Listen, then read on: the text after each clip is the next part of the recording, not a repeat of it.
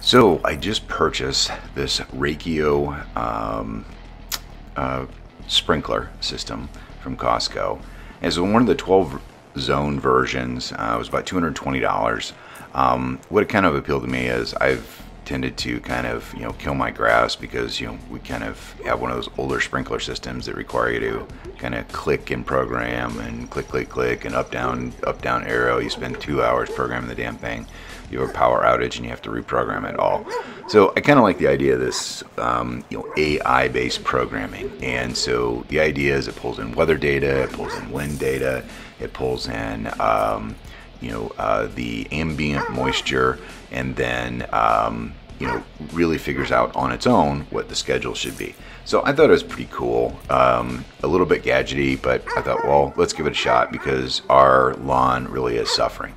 And so within about uh, about four weeks of having this thing installed, I got to say the lawn looks better than ever. It's amazing. The app was easy to install. Um, it was simple to install on the phone.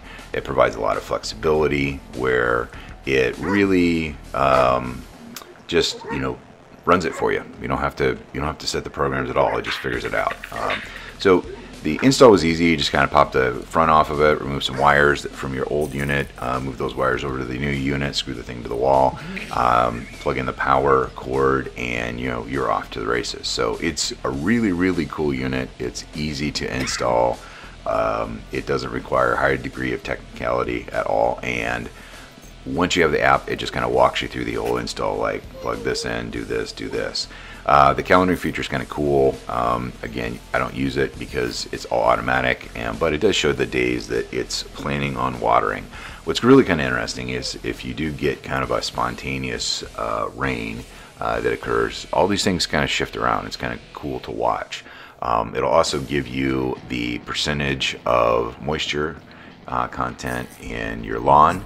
Um, so when you're setting this up, you'll set up and, and, say, hey, I've got this kind of slope, I've got this kind of um, lawn, um, I've got this kind of soil, clay or loose or sandy or whatever it might be.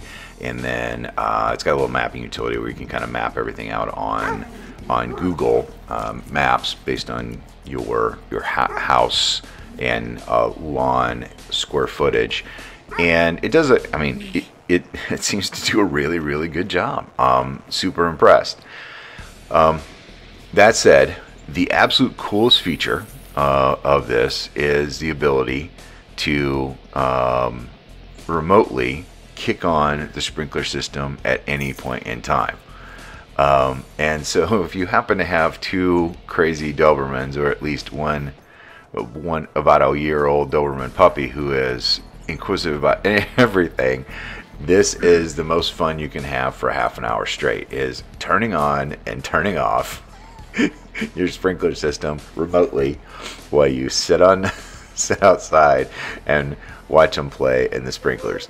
She had an absolute gas and she thinks there is something evil afoot underneath the lawn which is uh, an absolute blast. Now, initially, we actually used it whenever they started barking at the fence. We go ahead and kick on the sprinkler and uh, and so forth. But what I quickly realized is that um, this is just absolutely too much fun uh, to screw with her on on this, and obviously, she thinks it's fun.